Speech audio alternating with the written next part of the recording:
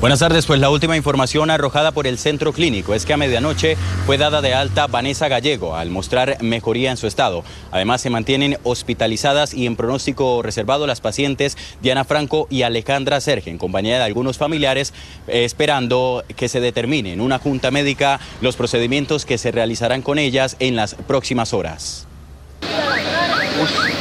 El vehículo en que se movilizaban las modelos se estrelló en la vía Río Negro-Bucaramanga. Viajaban rumbo al aeropuerto Palo Negro de la ciudad. El trauma fue muy fuerte, un accidente, nos fuimos a un abismo y, y gracias a Dios me agarré muy bien, entonces yo soy como la que menos tuvo contusiones de todas. Estamos en la carretera.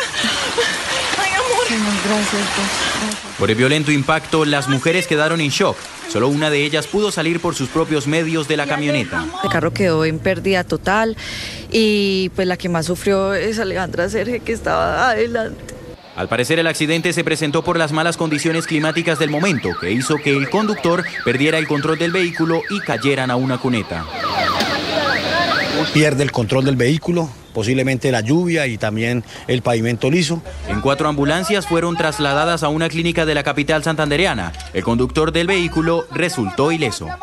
Vanessa Gallego, trauma craneoencefálico leve, trauma cervical. Alejandra Serge, trauma craneoencefálico leve, trauma facial y cervical. Alejandra Serge y Diana Franco continuarán bajo observaciones debido a las heridas presentadas.